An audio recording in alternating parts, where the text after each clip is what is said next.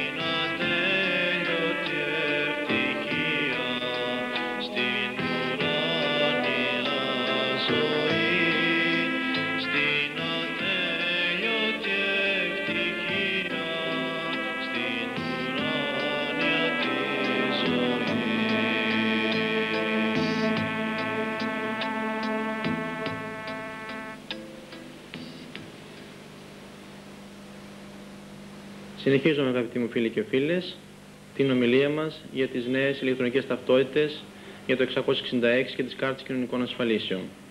Για όσους αγαπητούς τηλεθεατές έχουν ανοίξει αυτή τη στιγμή τις τηλεοράσεις τους, βρίσκονται στο κανάλι 67 και η εκπομπή την οποία παρακολουθούν είναι η εκπομπή με τον τίτλο «Η Φωνή του Πατροκοσμά».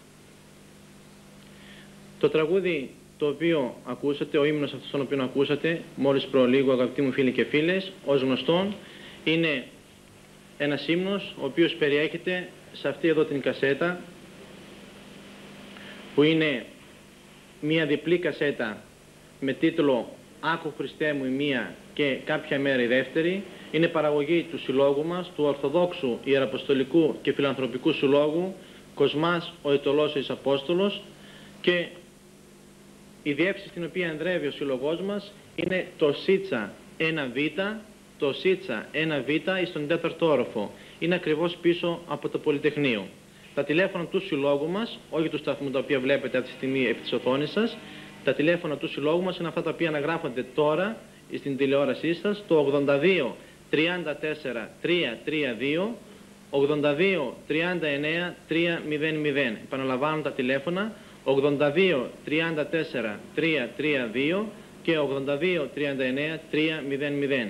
Για όσο από εσά θέλουν να επικοινωνήσουν μαζί μας, να γνωρίσουν το σύλλογό μας, να συζητήσουμε ε, οποιοδήποτε πρόβλημά τους κλπ. Μπορούν να πάρουν σε αυτά τα τηλέφωνα και να με ζητήσουν.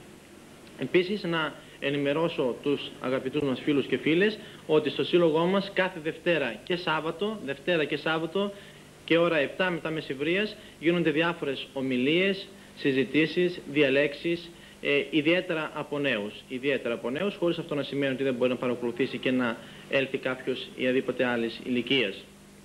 Επίσης, στο σύλλογό μας μπορείτε να βρείτε από το βιβλιοπωλείο του συλλόγου μας που έχει τον τίτλο Πατροκοσμάς και το βιβλιοπωλείο μπορείτε να βρείτε οδήποτε εκκλησιαστικό βιβλίο, ε, κεριά, λιβάνια, κομποσχήνια, ε, κασέτες, τις βιντεοκασέτες επίσης που γίνονται οι ομιλίες στο κανάλι 67, όλες αυτές οι ομιλίες που έχουν γίνει στο κανάλι 67, οι ομιλίες οι δικές μας, δικές μου, υπάρχουν σε βιντεοκασέτες, τις οποίες μπορούν, μπορείτε να προμηθευτείτε από το βιβλιοπωλείο του συλλόγου μας, ο Πατροκοσμάς.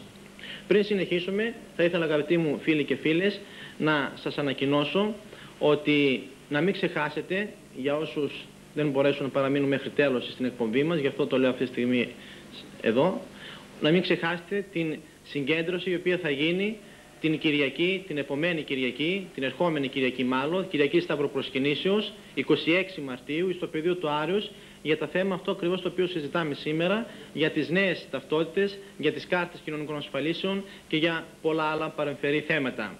Την Κυριακή λοιπόν της Σταυροπροσκυνήσεως, την ερχόμενη Κυριακή, η ώρα 3 το μεσημέρι, στο πεδίο του Άρεως, η συγκέντρωση. Είναι καθήκον ιερό όλο μας, αγαπητοί μου φίλοι και φίλες, να παρευρεθούμε σε αυτή τη συγκέντρωση για να διαμαρτυρηθούμε ε, ειρηνικά φυσικά και με ε, τάξη θα έλεγα προς τους ηγέτες μας, τους ηγέτες αυτούς που δυστυχώς μας κυβερνάνε για τον επικείμενο κίνδυνο του ηλεκτρονικού φακελώματος και του σφραγίσματος με το 666. Κανείς να μην λείψει αυτή τη συγκέντρωση στο πεδίο του Άρεος. Επίσης, να σας ανακοινώσω ότι εκείνη την Κυριακή, την ερχόμενη δηλαδή, 26 Μαρτίου, Κυριακή Σταυροπροσκυνήσεως, στη δική μας εκπομπή εδώ στη Φωνή του Πατροκοσμά, θα φιλοξενούμε, θα έχουμε πάλι τη χαρά να φιλοξενούμε τον Πανοσυλλογιό του Αρχιμανδρίτη Πατέρα Νεκτάριο Μονατσιώτη, με τον οποίο είχαμε συζητήσει την προηγούμενη Κυριακή, ε, και θα αναφερθούμε στη συγκέντρωση, η οποία θα γίνει την ερχόμενη Κυριακή, θα σας δείξουμε πλάνα από τη συγκέντρωση και από τους ομιλητές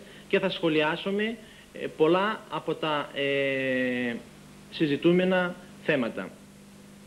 Την ερχόμενη λοιπόν Κυριακή στο πεδίο του Άριος και την ερχόμενη πάλι Κυριακή στην εκπομπή μας στη Φωνή του Πατροκοσμά θα έχουμε τον πατέρα Νεκτάρ με τον οποίο θα συζητήσουμε το θέμα της συγκεντρώσεως και ό,τι άλλο έχει σχέση με αυτό.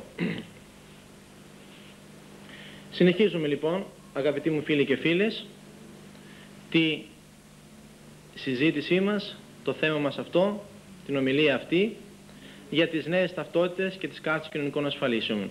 Είδαμε λοιπόν ότι πραγματικά υπήρχε μεγάλος κίνδυνος και πραγματικά ήθελαν να μας φαγίσουν με το 666 και με τον ενιαίο κωδικό αριθμό Μητρώου να μας φακελώσουν. Λένε ότι τον κατήργησαν. Πλην όμως, αν θέλουμε, τους πιστεύουμε. Διότι όπως είπαμε στην αρχή, κάθε άλλο παρά αξιόπιστοι είναι όλοι αυτοί οι κύριοι και κάθε άλλο παρατηρούν τις υποσχέσεις τις οποίες δίδουν. Γι' αυτό ούτε καν τους πιστεύουμε, ούτε και μπορούν πλέον να μας πείσουν για οποιοδήποτε πράγμα σχετικά και με το φακέλωμα και με το 606 αλλά και με οποιοδήποτε άλλο θέμα.